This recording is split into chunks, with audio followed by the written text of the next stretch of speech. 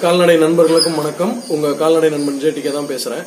இன்னைக்கு வந்து இந்த பாலை விற்பனை செய்வது எப்படி அப்படின்றத பத்தி ஒரு சிறிய தகவல் கொடுக்கலாம் அப்படின்ட்டு. இது வந்து ஒரு சின்ன ஒரு யோசனை தான். இதை வந்து செயல்முறைப்படுத்தி பார்க்கறது உங்க கையில தான் இருக்கு. ஏன்னா எந்த ஒரு கால்நடை சார்ந்த பொருட்களை உற்பத்தி பண்றதுன்றது எளிதான விஷயம். பட் அதை விற்பனை பண்றது அப்படின்றது தான் க- கஷ்டமான விஷயம். ஸோ இது வரைக்கும் நீங்க எனக்கு கொடுக்குற ஆதரவுக்கு ஒரு பெரிய நன்றியை தெரிவிச்சுக்கிறேன். தவறாம என்னோட சேனலை சப்ஸ்கிரைப் பண்ணுங்க. பக்கத்துல ஒரு பெல் பட்டன் இருக்கும். அதையும் பிரஸ் பண்ணுங்க. அப்பதான் நான் அடுத்தடுத்து போடுற தகவல்கள் உங்களுக்கு ரெகுலரா கிடைச்சுன்னு வரும்.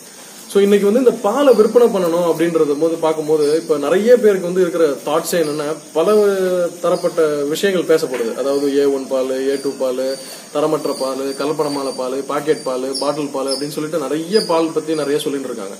ஸோ இதெல்லாம் ஒரு சைடில் இருந்தாலும் அதெல்லாம் நம்ம மறந்துட்டு நான் என்ன சொல்ல வரேன்னா இப்போ ஒவ்வொரு ஊரா இருக்கட்டும் அதாவது கிராமமா இருக்கட்டும் இல்ல வந்து டவுனா இருக்கட்டும் எல்லா இடத்துலயும் பாத்தீங்கன்னா நீங்க வாழக்கூடிய இடங்கள்லயே இரண்டு கிலோமீட்டர் சுற்றளவுல கூட கண்டிப்பா மாடு வளர்க்குற ஒருத்தவங்க இருப்பாங்க.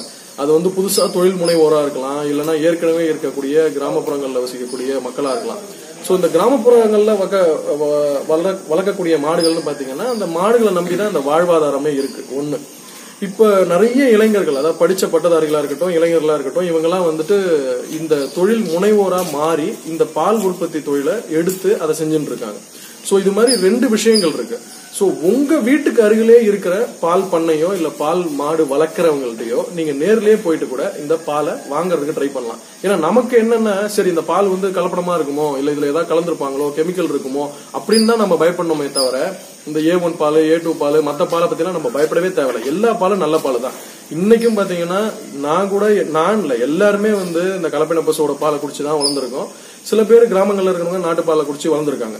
ஸோ அந்த பால் நாட்டு மாட்டு பால் கலப்பின பாலுன்றதை விட நம்ம கண்ணுக்கு முன்னாடி மாடு வளர்க்குறாங்க. அந்த மாடு வளர்க்குறாங்கன்னா கண்டிப்பா அந்த பால் வந்து நல்லதா இருக்கும். ஏன்னா உங்க கண்ணு முன்னாடி வளர்க்கும் போது அவங்க என்னென்ன தீவனம் கொடுக்குறாங்கன்றது உங்களுக்கு கண்டிப்பா தெரியும்.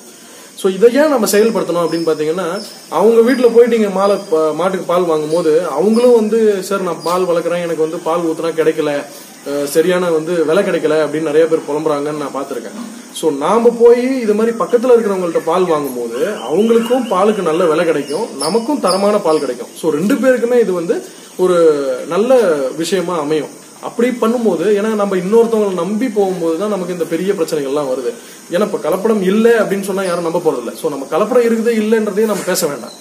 நமக்கு கண்ணுக்கு தெரிஞ்சவங்கள்ட்ட நம்ம போய் பாலை வாங்கலாம். ஸோ அவங்களுக்கும் அது நாம ஒரு உதவி செய்யற மாதிரி இருக்கும். அவங்களுக்கும் அது ஒரு பெரிய வாழ்வாதாரமா இருக்கும். ஏன்னா இன்னைக்கு நிறைய இளைஞர்கள் வந்து இன்னைக்கு மாட்டு பண்ணை வைக்கணும் அப்படின்னு சொல்லிட்டு இந்த தொழிலை எடுத்து பண்ணிட்டு இருக்காங்க. ஸோ அவங்களுக்கு ஊக்குவிக்கிற வகையில இதை நம்ம கண்டிப்பா பண்ணலாம். ஸோ தயவு செய்து இதை யோசிச்சு பாருங்க. இதை செயல்முறைப்படுத்த முடியுமா அப்படின்னு பாருங்க. பண்ணீங்கன்னா அதாவது ஒரு ஏழை மக்களுக்கும் வாழ்வாதாரம் அமைஞ்ச மாதிரி இருக்கும். ஒரு அதாவது இப்ப இளைஞர்கள் வந்து தொழில் முனைவோர் அப்படின்னு ஸ்டார்ட் பண்றவங்களுக்கும் வந்து ஒரு நல்ல அஹ், நல்ல வந்து ஒரு வாய்ப்பை நீங்க ஏற்படுத்தி கொடுத்த மாதிரி இருக்கும். சோ இது மாதிரி பண்ணோம்னா நமக்கு கிடைக்கிறது கண்டிப்பா நல்ல பால் தான் ஸோ பக்கத்தில் இருக்கிறவங்க கிட்ட நம்ம போய் பாலை வாங்க ட்ரை பண்ணோம் அப்படின்னா அது நல்ல விஷயம். இதே வந்து கால்நடை வளர்க்குறவங்களா இருக்கிறீங்கன்னா நீங்களும் இதை ட்ரை பண்ணுங்க. அக்கம் பக்கத்தில் இருக்கிறவங்கள்ட்ட நீங்களே போய் சொல்லலாம். ஏன்னா இப்போ நிறைய பேர் அதான் பண்ணிட்டு இருக்காங்க நான் எங்கள்கிட்ட வ- எங்கிட்ட வரவங்கள்ட்டலாம் அதான் சொல்றேன். இது வந்து நம்ம நினைப்போம் சரி இது சாத்தியமா? அப்படின்ட்டு. நம்ம பாலை வந்து எல்லாரும் வாங்கி குடிக்கணும்ன்றது அவசியம் கிடையாது. எல்லாரும் வாங்கி குடிப்பாங்கன்றதும் நம்பிக்கை கிடையாது. பட் ஆனா நமக்கு தெரிஞ்ச நம்ம உறவினர்கள் நம்ம அக்கம் பக்கத்துல இருக்கிறவங்கள்ட்ட நம்ம போய் நம்ம பாலை கொடுக்கலாம். கொடுத்தா கண்டிப்பா அதை வாங்க ஆரம்பிப்பாங்க. ஏன்னா கிடைக்கிறது நல்ல பாட்டு பால் அப்படின்னு அவங்களுக்கு தெரிஞ்சிருக்குன்னா நீங்களும் நியாயமா இருக்கணும். ஏன்னா இப்ப இந்த சமயத்துல வந்து பாத்தீங்கன்னா நாம கொடுக்குற பால் வந்து நாளைக்கு தயிரா துவஞ்சிடுச்சுன்னா அது வந்து கண்டிப்பா நல்ல பாலா தான் இருக்க போகுது. சோ மீண்டும் ஒரு நல்ல காணொலியில உங்களை நான் சந்திக்கிறேன். தவறாம இந்த வீடியோவை லைக் பண்ணுங்க. இந்த வீடியோ பிடிச்சிருந்ததுன்னா நிறைய பேருக்கு ஷேர் பண்ணுங்க. நீங்க எங்கிட்ட ஏதாவது சொல்லணும் அப்படின்னு நினைக்கிறீங்கன்னா தயவு செய்து கமெண்ட் பாக்ஸில் கமெண்ட் பண்ணுங்க. இன்னொரு ஒரு சின்ன தகவல் சொல்லணும் அப்படின்னு நினைக்கிறேன். நிறைய பேர் வந்து உங்க நம்பரை கொடுத்து ப்ளீஸ் கால் பண்ணுங்க அப்படின்னு சொல்லியிருக்கீங்க. இல்லைன்னா உங்க ஏன் நம்பரை நீங்க கேட்குறீங்க. நான் நம்பர் கொடுக்காததுக்கு முதல் காரணம் என்னன்னா நிறைய பேர் கேட்குற கேள்விகளுக்கு திரும்ப திரும்ப பதில் சொல்றோம் அப்படின்ற ஒரு காரணத்துக்காக தான் நான் இந்த யூடியூப் சேனலே ஆரம்பிச்சது. ஸோ அந்த தகவல்லாம் நம்ம யூடியூப்ல சொல்லின்னு இருக்கோம் அப்படின்னும் போது தனியா ஒருத்தவங்கள்ட்ட பேசும்போது எனக்கான வேலை பலுக்கு இடையில அந்த நேரத்தை செலவிட முடியாதுன்றதுக்காக தான் நான் என்னோட நம்பரை கொடுக்கறது இல்ல உங்களுக்கு எந்த கேள்விகளா இருந்தாலும் நீங்க தயவு செய்து என்னோட இமெயில் அதாவது மின்னஞ்சல் நான் இந்த வீடியோவோட இணைச்சிருக்கேன். அந்த மின்னஞ்சலுக்கு உங்க கேள்விகளை அனுப்புங்க. கண்டிப்பா நான் அதுல பதிலளிப்பேன் பட் அதுக்கும் கொஞ்சம் டைம் எடுக்கும். ஏன்னா நிறைய பேர் வந்து இப்போ வாட்ஸ்அப் குழுல இணையணும்னு சொல்லிட்டு என்னோட மின்னஞ்சலுக்கு நீங்க தகவல் அனுப்பியிருக்கீங்க. பட் இன்னும் உங்களை இணைக்க முடியாத சூழ்நிலையில நான் இருக்கிறேன். கண்டிப்பா அனைவரும் இணைக்கப்படுவீங்க.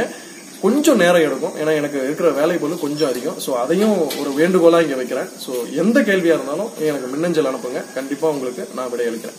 நன்றி வணக்கம்.